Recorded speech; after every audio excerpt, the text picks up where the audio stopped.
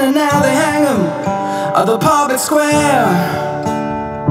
So please don't ever share anything that upsets between you and me. You better keep my success.